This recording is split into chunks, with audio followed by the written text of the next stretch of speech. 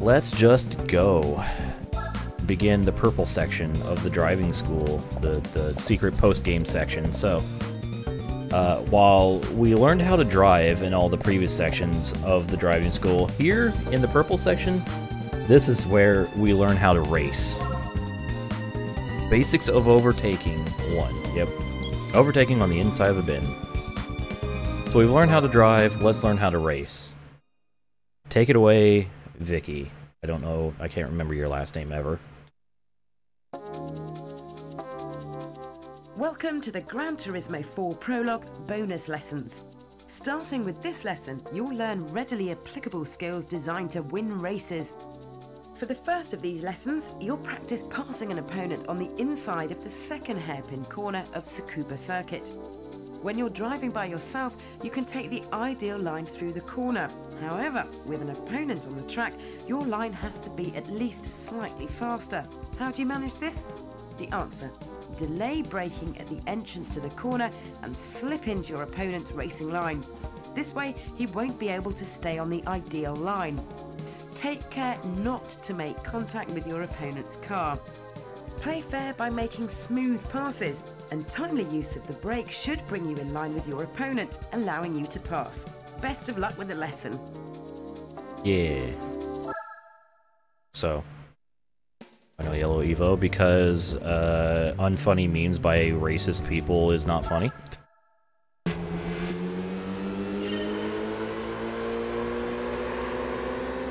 Alright, let's do some overtaking. So, gotta go to right, outbrake the other Evo.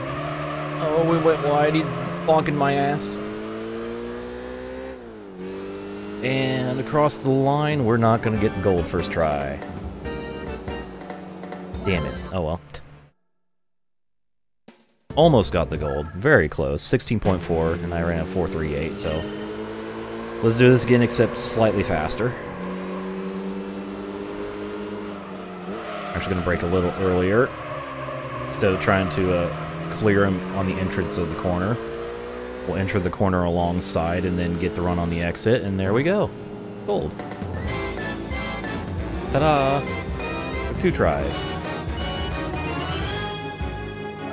Yeah. I did it. I learned how to pass somebody. We only made minimal contact. And we're still unlocking cars, by the way. Got the Evo 5 now. We can use in arcade. Overtake quickly.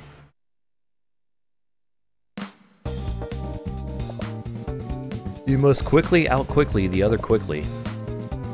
Anyways, on to uh, lesson 27, basics is overtaking 2, overtaking on a bin using the outside racing line.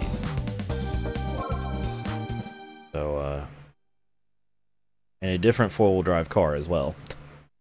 We're using a GTR for this. Welcome to lesson 27. In the last lesson, you learned how to pass your opponent on the inside of the racing line, but that strategy won't work every time. Time now to learn how to pass on the outside of your opponent. This lesson takes place in the same area, the second hairpin corner of the Tsukuba circuit. As you approach the corner, if it seems too difficult to pass your opponent on the inside, don't risk it. Align your car with your opponent on the outside and race like that to mid-corner. Then turn harder than usual. Near the end of the corner, your opponent will come back to the outside. You, on the other hand, will brush by your rival on the inside, creating a chance to pass the car on the following straight. This is, of course, the same line you learned in an earlier lesson that emphasizes corner exit speed. This technique is effective when used on a corner that precedes a long straight. Best of luck in the lesson. It's weird. It's time to learn the crossover technique. Basically. It's actually pretty it's pretty smart technique to learn. Because your opponent's gonna defend the inside, well just take your normal line, run a little little wider on the entry, and then bring it down on the exit. I royally fucked that up, holy shit, okay. I did not do that correctly at all at all. Okay. Just need to go another tenth and two thirds faster. I feel like I'm not accelerating as soon as I should be out of the turn. That's a little earlier. I actually slowed down my mid-corner speed a little bit so I could get on the throttle earlier and like bring it down earlier. Take a lower line. Hey, it worked out. Sweet.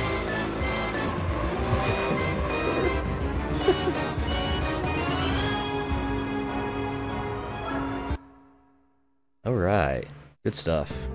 Did it. Learn how to do the uh, the crossover and to pass somebody who's defending the inside. Hell yeah. With that, we get the R32 GTR V-Spec. 2.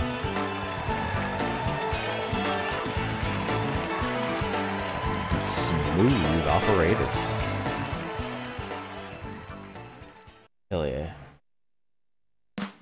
On to the next. Lesson 28. Basics of overtaking 3. We're going to be taking multiple corners this time. Overtaking using your opponent's slipstream. Now we learned how to pass on the inside. We learned how to uh, crossover using if they're defending the inside. Now let's learn how to slipstream past. Welcome to lesson 28. In this lesson, you'll be practicing a technique crucial for high-speed circuit racing, the slipstream pass. The location is the well-known high-speed track, the Fuji International Speedway. If you drive behind a car driving at high speed, the air resistance affecting your car is lowered and you get sucked forward as your speed increases. Using this speed boost to your advantage is what the slipstream pass is all about. In an earlier lesson, you already practiced braking techniques into corner one. Now you'll learn to drive right behind your opponent's car, then just before you reach corner one, slip into the inside. Try not to be either too early or too late on your grab for the inside. If you make your move too early, you won't be able to take full advantage of the other car's slipstream. If you're too late, you won't line up correctly next to your opponent. Using the slipstream is all about timing. Give it a few tries until you can get a feel for the perfect moment. Now, good luck with the lesson. Alright. So, yeah, I gotta get that suck. Can I just say, I really appreciate, I've been forgetting to say this, but I've been wanting to say, I appreciate, like, before it actually starts the demonstration, like, replay, it, we get, like, panning shots of, like, the, uh, the, the, the track section we're gonna be using for the lesson. I really like those panning shots.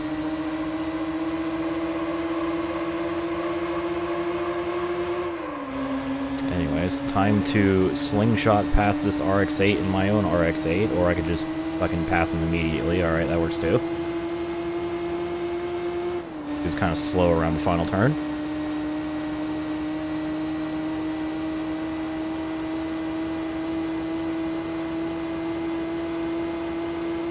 A hard brake, I'm just gonna use brake at the, uh, the darker patch. Oh god. Going wide.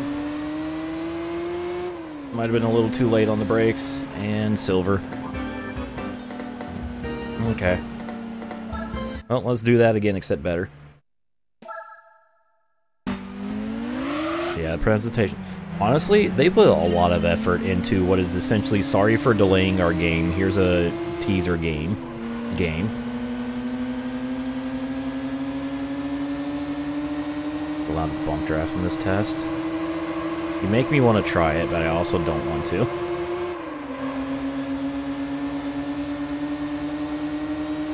Get a good slingshot.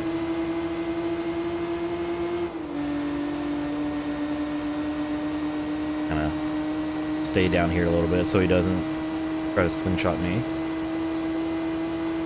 You know what, Reaper? It might have. Alright, I'm gonna brake just a little before the dark uh, the dark rubbery part of the road. That was a bit smoother. Now, is it good enough for sub 51.8? Sure is. There we go. The slingshot pass. And subsequently actually making the first corner. Hooray! I'd probably save one of these replays. Two prologues. Yes. There's one for this, and then there's uh, one for GT5. There's GT5 Prologue. And then there's GT Concept, which is basically a GT3 epilogue. I have no idea, Gravy. No idea. I probably won't find out since I'm, you know, how I don't. Much like with GT Concept, I highly doubt a PAL Prologue save will work on a NTSC GT4 save. Anyways, time for our next challenge, or lesson. Racing Practice 1. Racing practice using the 350Z. says we have three laps to do here, but the gold time is a minute 33, so unless we're at the beginner course, I don't think we'd be doing all three laps.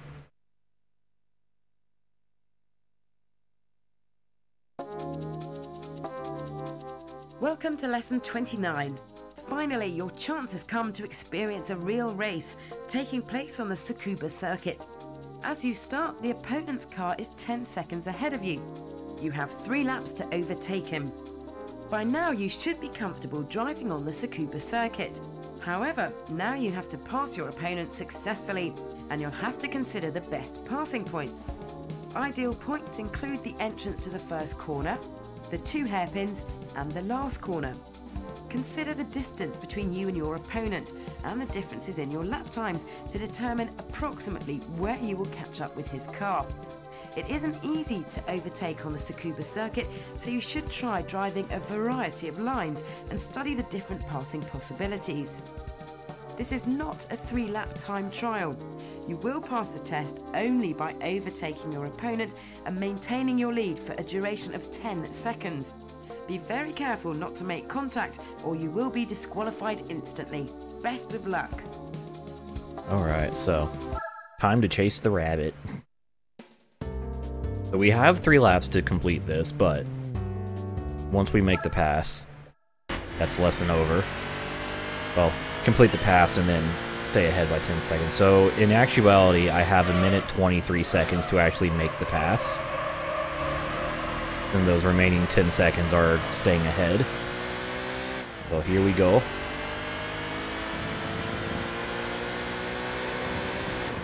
Gap's already down to 6.6. A little bit of an overshoot. We're good though. Oh, yep, that's the rev limiter. Whoops. Oopsie doopsie. Cut another nearly three seconds in that sector. Try to get a good exit out of this hairpin. Not close enough to slipstream, but I'm going to stay tucked in anyways.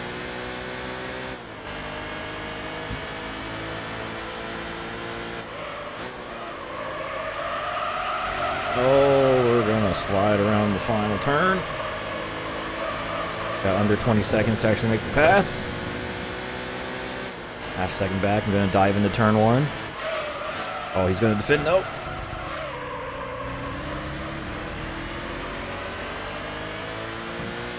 He tried. He tried to pinch me. I don't think so, bud. There we go. Gold. With 10 seconds to spare almost. Yeah.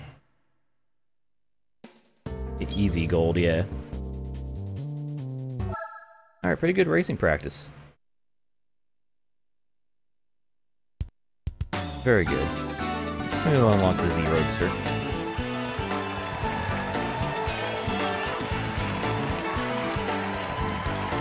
Two seconds off from time. Well, good thing I'm not playing that the Japanese version. Therefore, I don't give a shit. Alright, so after that, it's time for another coffee break. Oh god, here we go. Coffee break 4. Knock over all the cones while following the racing line. Oh yeah, this is the coffee break that actually takes place at not the Gymkhana course. There is no North American time because there is no North American version of this game. Time for another coffee break. For this course, 100 cones have been lined up on the beginning course of the driving park. Touch them as fast as possible for the best trophy. Cones are aligned to the racing line. On the corners, this means they're placed in an out-in-out formation, giving you a chance to review your basic driving knowledge. If you find yourself unable to knock them all over in one go, this could be a symptom of over-enthusiastic steering or poor accelerator control. Mm-hmm. Enjoy your coffee break. I will enjoy my coffee. All right, so similar uh similar theme as the last coffee break. Knock over 100 cones that are lined up right in front of me, but I'm at the beginner course this time. So here we go. Got 41 seconds. in our cappuccino. Now, overall, this coffee break isn't too bad, except for the chicane. Because the cones are kind of lined up in a formation that's not really natural to me in the chicane.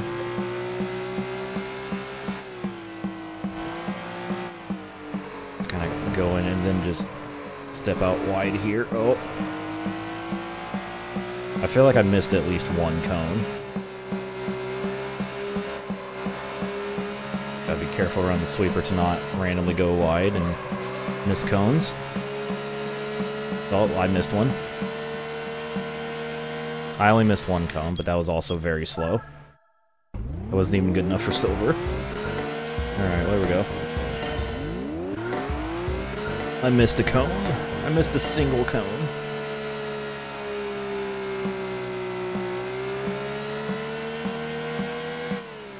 Through a few.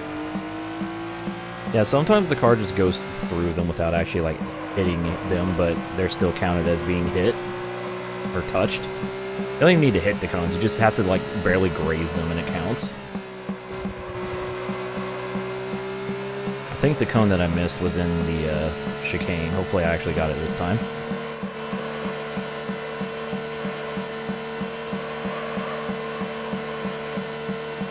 Go, go, go. Yeah, there we go. Freaking scented bud. Holy crap, okay.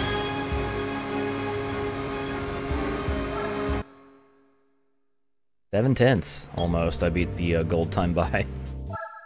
Take it. Let's get our coffee car after completing the coffee break. Hell yeah.